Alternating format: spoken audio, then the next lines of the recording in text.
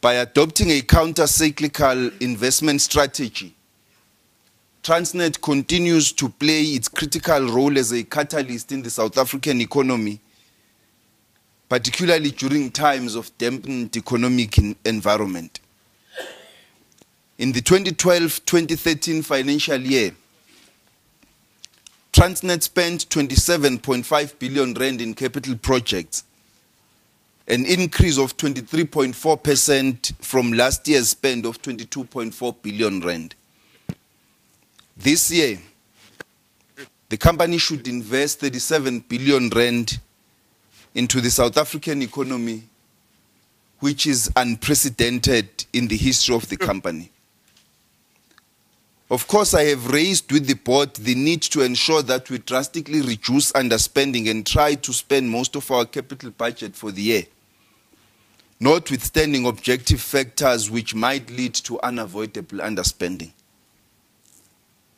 While this continued aggressive spend on capital projects is aimed at ensuring that the company provides capacity ahead of demand, the spend is used to drive job creation transformation and localization imperatives in the country, thereby maximizing the economic impact of the company. We are going to continue with uh, counter-cyclical capacity creation. The market demand strategy is no longer 300 billion. It is now 307.5 billion over seven years. What we have done is that because there are six years remaining and we've spent 27 billion in the first year. We have added another year and we are spending more than 27 billion in the last year.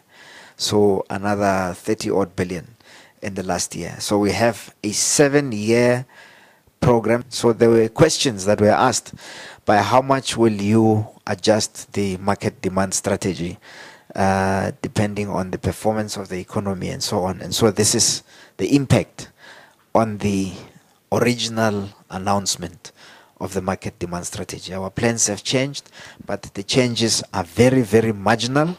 But more significantly, we have added another 30 billion onto the outer year.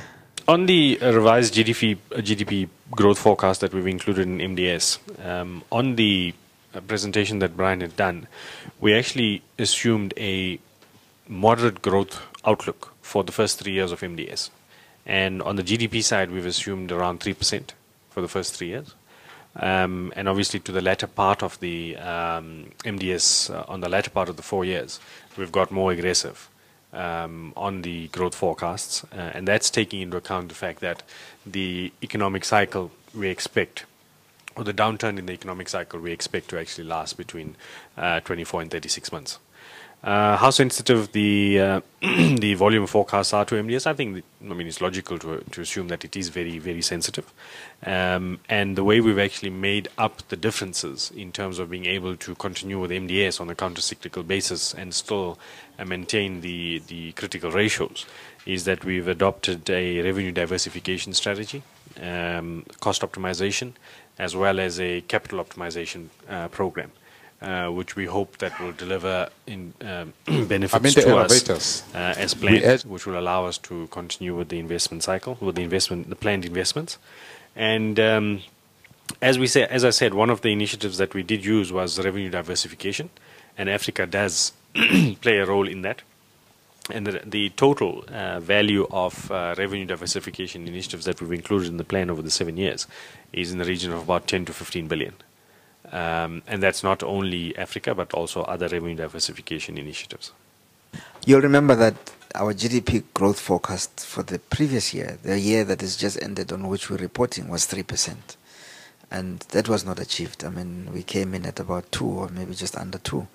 And, uh, and yet, and this is precisely why we say the MDS is counter-cyclical. We are going to continue to invest because we are not investing for now or for demand now with investing for the next 30 years or 50 years because that is the nature of the assets that we're buying uh, have a 50 year life. So you can't change investment decisions based on um, uh, uh, short term uh, growth cycles. So this is a demonstration of uh, us proceeding